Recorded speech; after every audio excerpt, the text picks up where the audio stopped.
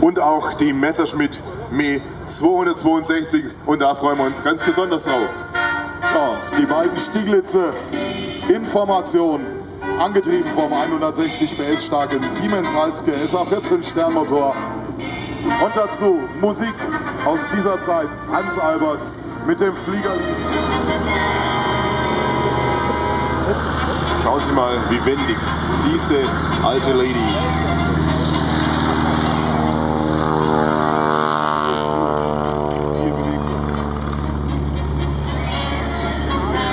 Befeuert von einem 7-Zylinder Sternmotor Siemens Halske SH14 mit 160 PS. Das gleiche Triebwerk, das auch den Bücker Jungmeister antreibt.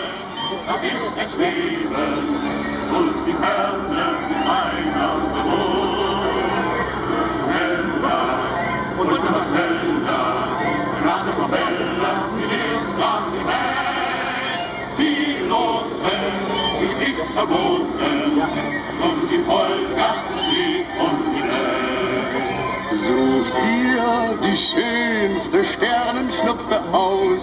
Drehen wir das Rad der Zeit zurück, sehen wir alles in Schwarz-Weiß. So wurde in den 30er Jahren Kunst geflogen.